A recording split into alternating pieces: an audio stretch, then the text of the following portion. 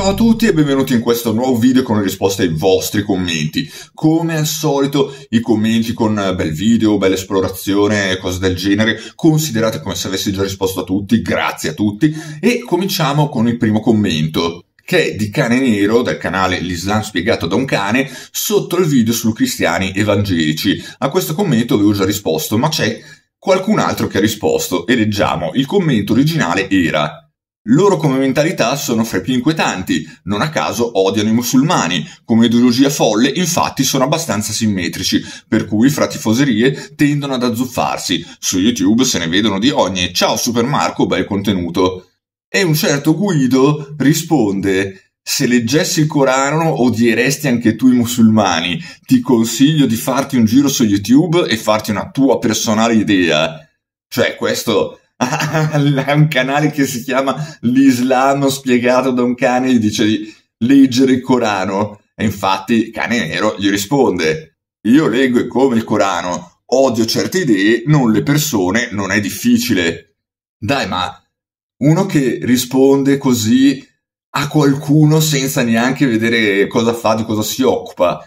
Ecco questo è il solito fanatismo religioso, e non dico cristiano, in questo caso il fanatismo cristiano contro i musulmani, ma lo stesso c'è i fanatici musulmani contro i cristiani contro gli ebrei, i fanatici ebrei contro i cristiani musulmani, i fanatici di qualsiasi religione contro fanatici di qualsiasi altra religione.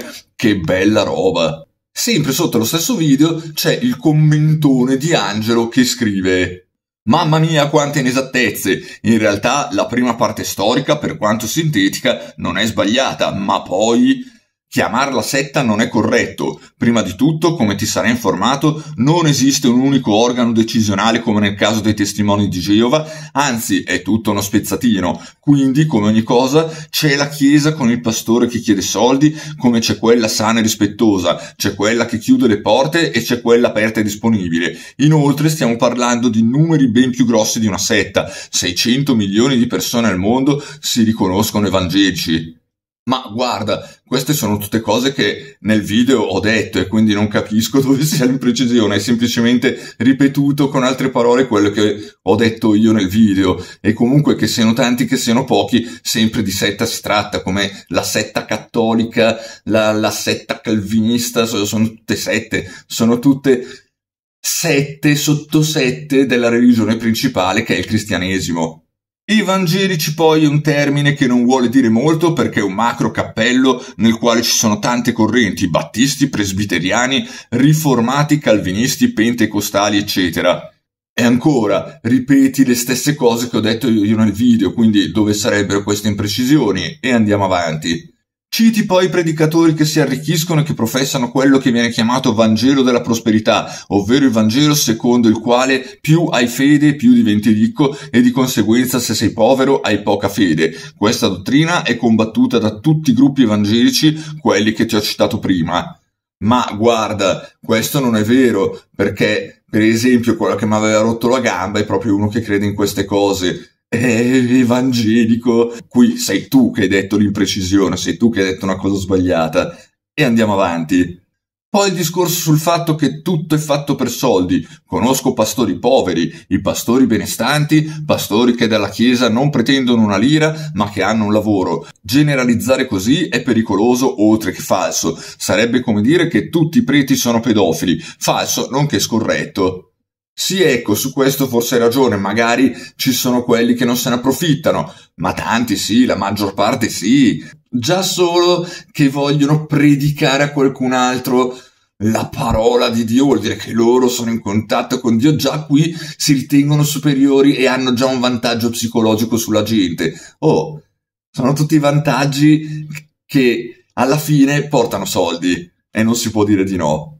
Fanno parte inoltre del mondo evangelico associazioni come Compassion che si preoccupa di aiutare bambini in zone difficili del mondo e Porte Aperte, Open Doors in inglese, che si preoccupa di tutelare i cristiani perseguitati in zone come Nord Corea, Cina, India, Somalia. E anche questo l'avevo detto nel video, quindi dov'è l'imprecisione? Per ora l'unica cosa imprecisa che è stata detta l'hai detta tu quando hai detto che non tutto è fatto per soldi, per avere potere, e, e invece sì. è la storia del Vangelo della prosperità che è vera, non è, non è vero che viene respinta da tutti gli evangelici, anzi, ma andiamo avanti. Nel video hai citato interessi comuni con il narcotraffico senza citare fonti esplicitamente. In Messico, per esempio, molti cristiani sono perseguitati perché denunciano il cartello. Come non ho citato fonti? L'ho detto subito sia all'inizio che alla fine del video. Andate sotto nella descrizione del video che ci sono tutte le fonti, ma evidentemente tu da buon cristiano te ne sei fregato, come fanno sempre i cristiani, ma le fonti io le ho citate. Concludo, ho apprezzato il video perché mi piace che vengano fuori problemi e vengano denunciati, ma mi dispiace quando si fa una generalizzazione. E io concludo, finalmente qualcuno che, anche se la pensa al contrario di quello che penso io, però commenta educatamente. Però, se poi dici castronerie, allora il commento non è una così gran bella cosa. Perché, scusa, eh, ma o hai ripetuto con altre parole le stesse cose che ho detto io, oppure sei tu che hai detto imprecisioni, oppure nell'ultimo caso te ne sei proprio frega- fregato delle fonti che io ho citato, e, e non si fa così. E passiamo ai commenti sotto al video su Meggiugori. Il primo commento è di Antonella che mi chiede: Salve signor Marco, mi permetto di chiederle se è mai stato a Meggiugori.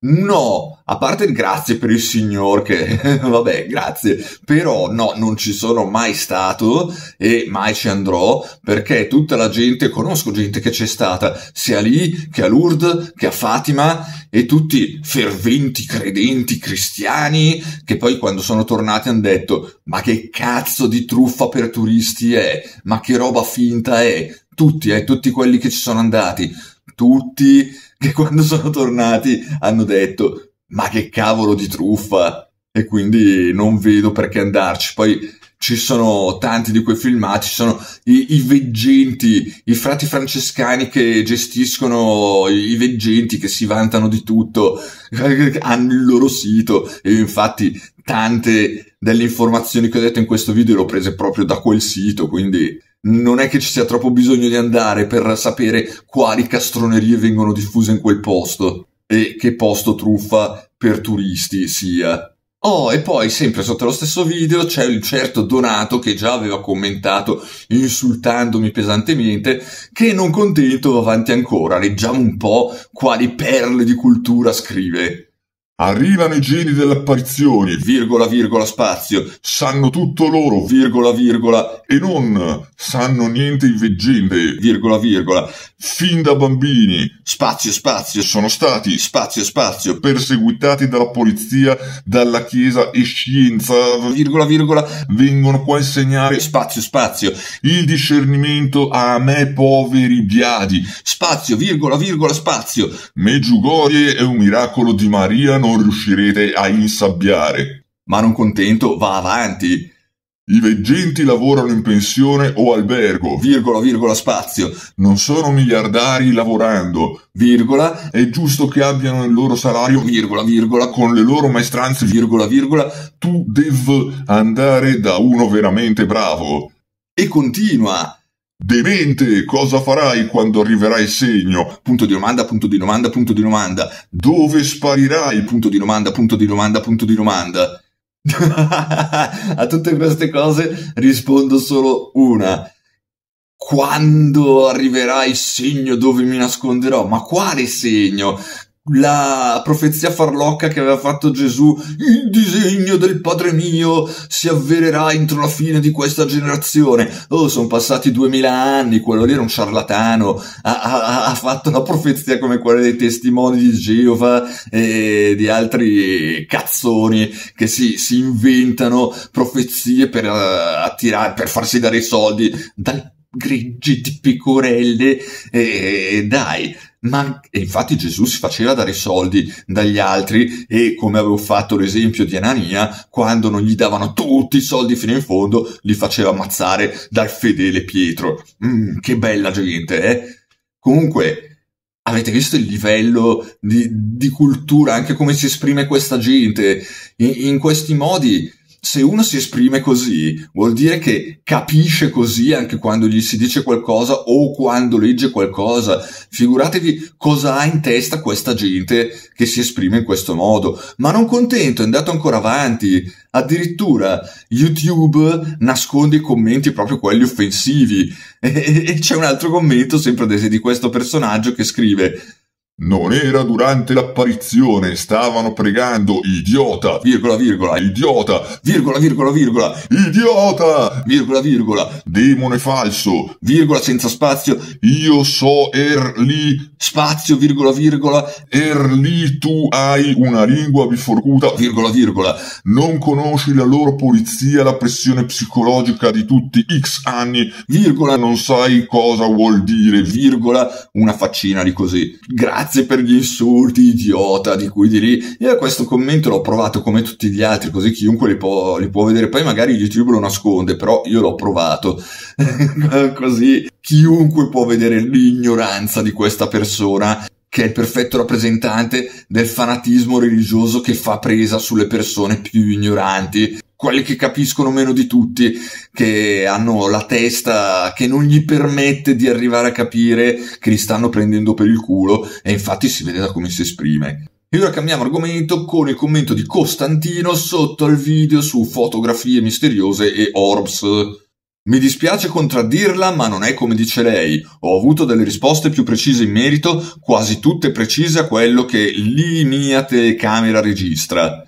Sì, immagino risposte precise, quelli che dicono ah, quello è il fantasma, quella è l'energia, quello è l'altro fantasma che ti risponde e tutte ste cazzate. Gli orbs non sono fantasmi, non hanno niente di paranormale come ho spiegato nel video, sono semplicemente oggetti minuscoli come possono essere granelli di polvere o gocciolini di umidità o insetti che sono davanti all'obiettivo illuminati dalla luce ma sono a una distanza che rende impossibile l'obiettivo di metterli a fuoco, tutto lì, gli orbs, dai, e o se uno dice che ha avuto risposte che lo soddisfano di più appunto perché tu ti aspettavi quelle risposte, volevi essere soddisfatto da quelle risposte, ma la verità non è quella, la verità è che gli orbs non hanno niente di paranormale, dai. E poi c'è il commento di Andrea sotto al video della costruzione del bracciale a tripla catena. Sarà anche una lavorazione molto semplice, ma io non credo ce la farei, anche se la manualità non mi manca. Gran bel lavoro Marco, oh yeah. Come sempre, oh yeah anche a te. Ma guarda, Mm, lavorazione semplice sì, perché adesso ne sto facendo di molto più complicate. Mm, quando ci prendi la mano, più vai avanti, più le prime lavorazioni che ti sembrano chissà che difficili, poi diventano semplici. E questa qui sì è una lavorazione abbastanza semplice. E poi sempre Andrea, sotto al video del pendente di pietra multicolore, commenta tutto fatto a mano, grande. Certo, ce ne sarà voluto per fare il foro a mano con la lima, ma d'altronde farlo con qualche strumento era troppo rischioso e il risultato finale è straordinario eh, grazie per lo straordinario, però sì, hai ragione, io quando faccio i fori per far passare anellini o, o, o cordini o qualsiasi cosa che abbia bisogno di passare dentro al pezzo di pietra, gli faccio il buchino piccolo fine fine fine con il Dremel, però poi lo allargo a mano con la lima tonda fine fine fine fine fino a portarlo alla misura giusta perché appunto così evito eventuali vibrazioni causate dal marchingegno elettrico che potrebbero spezzare la pietra. Sotto al video dell'esplorazione alla ITS Artea di Parabiago c'è il commento di Future Pilot Hope che scrive ci sono stato oggi, la situazione purtroppo non è cambiata, una fogna vera e propria. Nonostante tutto, esplorazione avvincente, la consiglio. Bisogna stare attenti agli abusivi però. Boh, non so, quando c'ero stato io sì c'era una famiglia abusiva lì, però appunto era una famiglia con i bambini piccoli, erano lì nel loro appartamento che si erano riassettati, che si erano messi a posto e non hanno detto niente, ci hanno visti, li, ci hanno salutati, noi li abbiamo salutati, basta, tutto lì. Magari adesso c'è altra gente che invece rompe le balle, non lo so. Comunque hai ragione, il posto è interessante. Poi, sotto al video dell'esplorazione al tubettificio Masciocchi, Marte scrive quindi chi ci vive lì dentro? Tossici? Irregolari? Spacciatori dei boschi? Criminali? Ecco, queste domande non sono così belle perché tossici, spacciatori, perché bisogna pensare subito male? Ma sai quante volte c'è gente che vive in case abbandonate, che poveracci, magari fino al mese prima avevano il lavoro, ha chiuso l'azienda, basta, hanno perso il lavoro, non ne hanno trovato un altro, non hanno soldi per pagare l'affitto e, e dovevano dormire o sotto un ponte o nella fabbrica abbandonata. Non è che sono tutti criminali, gli spacciatori dei boschi, i malviventi. Boh, che modo brutto di pensare questo. E arriviamo ai commenti sotto all'ultimo video con le risposte ai vostri commenti. E il primo è di Dida che scrive Ciao Marco, che belle quelle catene. Quando inizio il lavoro sei fissato come me che devo portarlo per forza a conclusione e mi isolo. Ah, sono offesa che non mi hai risposto. Non è vero che ti ho scritto, ma volevo farti un po' sentire in colpa. Per quanto riguarda la religione non mi esprimo, che tanto più o meno hai capito come la penso. Poi io le rispetto tutte, basta che mi lasciano in pace. Eppure c'è un paio di persone che nonostante tutto mi mandano il buongiorno e buonanotte coi santini cari. E io soffro. E anche se non rispondo continuano imperterrite. Purtroppo sono persone che non posso bloccare, altrimenti lo farei con gran sollievo. Sì, quelli dei buongiornazzo, buongiornissimo, che poi sono gli stessi che ti mangiano, mandano il buongiornazzo, buongiornissimo caffè con l'immagine del santo. Che tristezza, che quelle cose proprio, boh, non le capisco. E per il lavoro che dici che sono fissato come te, mi sa che io sono un po' più fissato perché soffro proprio di disturbo ossessivo compulsivo. Avevo fatto anche un video riguardo, anzi, per chi fosse interessato a questo disturbo, lascio il link sotto nella descrizione di questo video, così andate a vedervi quell'altro video che è molto interessante. E poi c'è il commento di Fabio. Ciao Marco, ho scaricato Messenger per contattarti, ma non vedo una tua immagine tra i vari Marco Patania.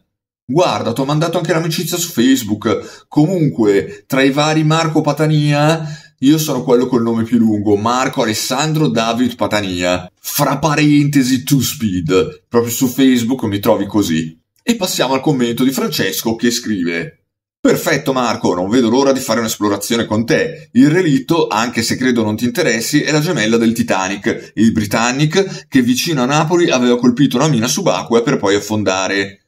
Oh, non è che non mi interessi, però, te l'ho detto, per andare sotto un centinaio di metri a fare un'immersione bisogna avere esperienza, allenamento, attrezzatura, tutte cose che io non ho, quindi è un po' dura scendere lì sotto. Grazie per l'offerta, ma eh, purtroppo no. Poi c'è Andrea che commenta. Bellissimi i tuoi ultimi lavori, fanno davvero la loro scena. Ah, la pasta salda. Avevo un dubbio in effetti. La usavo a scuola per fare saldatura a cannello con i tubi di rame. Li vale tutti quel diorama, considerando tutto il lavoro dietro. Ripeto, è troppo bello. Comunque sì, come vedi, hai notato anche tu che trasgrediscono lo stesso e sono farlocchi come tutti gli altri. Aspettiamo il prossimo video sorpresa Marco, oh yeah.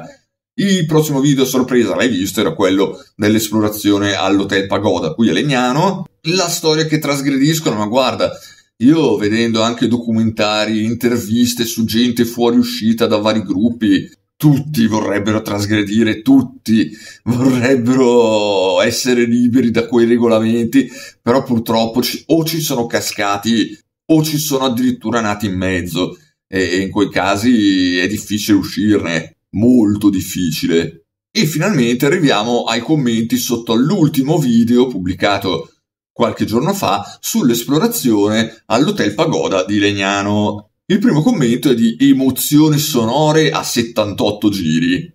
Peccato non sei riuscito a visitarlo tutto. Spesso, quando si fa urbex, ci si imbatte in certe situazioni. Conviene sempre non andare da soli. Prima o poi qualcuno posterà la disco a fianco. Ma guarda, io tutte le volte che sono andato da solo mi è successo anche altre volte di incontrare gente, ma e parlando educatamente non mi è successo niente. E la discoteca di fianco purtroppo non ci si può entrare perché c'è un custode con tanto di famiglia che ci abita dentro e quindi non è abbandonata, è solo in disuso ma con custode, quindi lì non ci si entra. Poi c'è il commento di Urbex Italia Associated che scrive dal 1974 è chiuso nel 2020, rapida la totale devastazione. Rapidissima sì, se si considera che poi che dal 2020 fino all'inizio di quest'anno è rimasto chiuso sigillato intero. Probabilmente, vedendo anche come è stato messo i mobili, tutto il mobilio e i bagni, quelli sono stati tolti via troppo bene, precisi, anche se poi sono stati sbattuti fuori all'esterno, almeno tanti mobili, e lì deve essere stata un'impresa che doveva sgomberare, però tutte le piastrelle divelte, tutti i cavi strappati del soffitto, dalle pareti, quelli sono ladri. E si sono dati da fare, insomma, in questi dieci mesi, ultimi dieci mesi di abbandono, si sono dati tanto da fare. E poi c'è il commento di Max che scrive Ciao Marco, complimenti per aver mantenuto i nervi saldi quando hai incontrato il tizio. L'ultimo piano è veramente una discarica, nonostante sia abbandonato solo da 4 anni. Il piano terra mi è piaciuto molto, peccato non aver concluso l'esplorazione. Guarda, te lo dico anche a te, aver mantenuto i nervi calmi, eh, mi comporto come mi comporterei con chiunque. E ti dico, facendo così, stando tranquilli, parlando educatamente, non mi è mai successo niente con nessuno. Di certo, anzi, se si scappa è peggio, si scappa o ci si mette a litigare, lì sì che sono cazzi, perché quello dice, ma questo mi vede, scappa, cos'era? Uno sbirro, andiamo a pestarlo. Invece, tranquillo, ci si ferma, si parla, ci si saluta e finisce lì, basta. Poi c'è Alex che commenta, la devastazione è stata rapidissima per esserci un pseudo guardiano, se così si può chiamare, viste le condizioni igieniche nelle quali vive. C'è tantissima roba che si può recuperare e riusare, tipo le due auto, quel bongo, non si chiama così, ma non ricordo come l'hai chiamato, e tantissima roba elettronica che forse con pochissima spesa si sistema o forse non ha niente ed è solo buttata lì a marcire. Peccato proprio.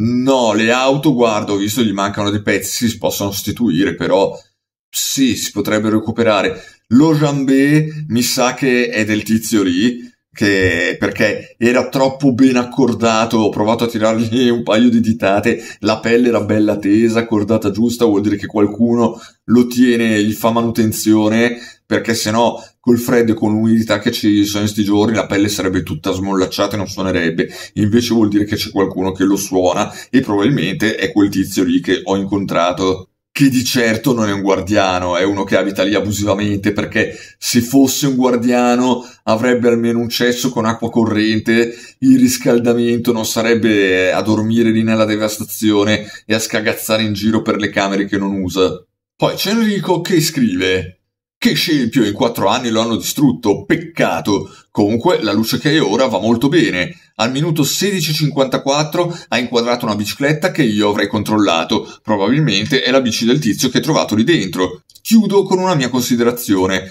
Una società che al suo interno ha situazioni di questo tipo ha qualcosa di sbagliato che va sistemato. Prossima spesa, telecamera nuova? Guarda, la luce che ho usato è sempre questa, l'hai già vista, l'ho già usata, sono anni che la uso ormai, è sempre questa, non ho cambiato niente. Quindi, boh. E la telecamera, e come hai visto, no, ah, riprende bene. L'unica cosa è che ballonzolava un po' troppo perché mi sono fatto un altro accrocchio sistemato su questa luce qua, però devo fissare meglio l'aggancio della videocamera e così non ballonzola più. Però per il resto mi pare che si veda bene tutto, senza bisogno di comprare videocamere nuove. La bicicletta probabilmente sì, era del tipo lì, ma cosa me ne frega di controllarla? Tanto una bicicletta lì, che sia sua o che sia abbandonata, boh, a me non cambia niente. E la situazione così si sa in che paese viviamo, chi governa, cosa gli interessa di più, se sistemare certe situazioni o regalare soldi all'Albania per, per fare centri, centri di detenzione per gente che magari non dovrebbe neanche essere lì, per poi mandarne 16 alla volta spendendo roba tipo 18.000 euro per, a persona. Mm, ecco, se le spese vengono fatte in questo modo, poi i soldi che servirebbero per risolvere situazioni come quella di gente che è costretta a vivere in posti abbandonati Ciao. Poi c'è il commento di Mario. Ciao Marco, grande video, mi ricordo benissimo di questo motel. Ho fatto per anni andare a Mediterranee e ci parcheggiavo di fronte al pagoda. Organizziamo per cercare di entrare a visitare la discoteca che vengo con te. Io sono di Saronno, quindi siamo vicini. Ciao Marco. ciao, grazie, ma come ho detto prima, nella discoteca non si entra perché c'è il custode, la discoteca non è abbandonata, è solo in disuso. Poi c'è il commento di Andrea. Il bagno era bello, sono venuto quando ho fatto il provino Pomo Fiore, programma di Antenna 3. Cavolo, lo conosco il Pomo Fiore, tra l'altro conosco uno che era lì a fare le luci. E sì, che programma del cazzo, mamma mia, quella era proprio la decadenza di Antenna 3. Poi c'è Andrea che commenta. Come avevo già notato dalle foto che hai pubblicato, da come è messo questo posto sembra in stato di abbandono da quasi 30 anni minimo. Un vero peccato. Credo che quando era in funzione doveva essere bellissimo. Comunque hai fatto bene ad andartene per non avere casini. Ovviamente non era per conto del proprietario. È sicuramente uno che si abita lì. Bella esplorazione. Sì, sì, di certo non era lì per conto del proprietario, è uno abusivo che, boh, non so se è poveraccio o se era lì per, per, chissà che motivo, però sì, è uno che si abita lì abusivamente. E lo stato di abbandono sì, sembra abbandonato da 30 anni, ma come ho detto prima, negli ultimi 10 mesi i ladri si sono dati da fare di brutto, hanno spaccato per portare via cose, insomma, un vero scempio. Poi c'è Damor che commenta. Ciao Marco, come sempre gran bel video. Ci sono rimasto molto male nel vedere Pagoda conciato così. Sei riuscito a capire se il Mediterraneo è in stato di abbandono? Caspita, è un vero peccato. Quante serate passate in quel posto? No, come ho detto già prima, ripetutamente, il Mediterraneo non è in stato di abbandono, quindi non ci si entra. A me, più che de- dell'hotel Pagoda, mi dispiace per il Mediterraneo perché ci avevo passato tante domeniche pomeriggio lì dentro, anche tanti sabato pomeriggio poi, e nella sala 2, quella dove facevano la tecnopestona cassa dritta. Peccato che sia chiuso. E arriviamo all'ultimo commento di oggi, sempre sotto lo stesso video, che è di Francesco. Marco, hai fatto bene a non disturbare quel signore. Mi spiace sia per lui, ovviamente, ma sia per come è conciato il posto. Sembra sia passato l'uragano lì dentro. Guarda, io non so se mi dispiace perché sì, se uno è costretto a vivere in un posto così, sì, mi dispiace, in ogni caso, quello sì. Però se poi lo tratta così, che apri una porta e ti gira la testa per la puzza che c'è dentro, no, que- quello vuol dire che in qualsiasi posto, anche se avesse una casa sua di proprietà, magari la tratterebbe così, che schifo. E lì, altro che uragano, te l'ho detto, tra impresa che ha smontato tutti i mobili e tutti i bagni, e ladri che hanno spaccato piastrelle, pavimenti rame, sì, altro che uragano. Per oggi questo era l'ultimo commento, Prossimo video ancora non so cosa farò, quindi anche questa volta sorpresa. Intanto continuate a seguirmi sul mio canale YouTube 2Speed. Se non siete ancora iscritti, iscrivetevi così mi aiutate a farlo crescere. Iscrivetevi anche ai miei gruppi su Facebook Urbex e Mystery, dove trovate tutte le coordinate di tutte le mie esplorazioni e escursioni e viaggi in kayak, dove trovate tanti percorsi interessanti da fare in kayak. Date un'occhiata sempre su Facebook alla mia pagina 2Speed Artigianato, dove trovate tutti i miei lavori artigianali in pietra, legno e metallo, e vi do appuntamento al prossimo video. Oh yeah!